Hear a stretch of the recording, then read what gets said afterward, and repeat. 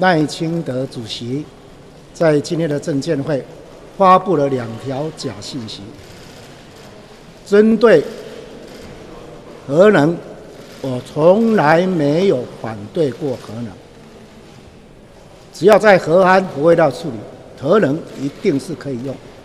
所以他既然说我反对核能，这是第一条假信息。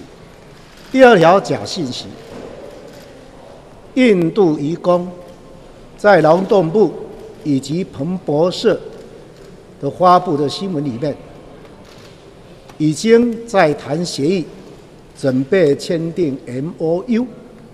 啊，赖清德主席既然否定这个，这嘛是假信息。其实我今天问的许多问题都是人民关心的啦，也是要作为一个总统候选人必须跟台湾社会回答了。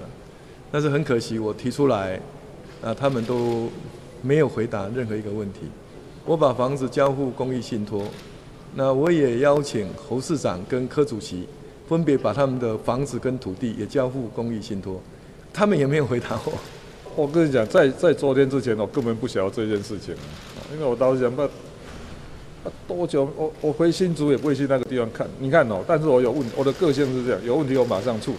你看不像他哦，说谎被抓到又不肯改哦，啊，然后税单税籍到现在交那个缴税记录也没有，啊啊被抓到最后还叫国还叫宪兵去当他们家的保全兼那个扫地的，那你今天才说要把那个要信托？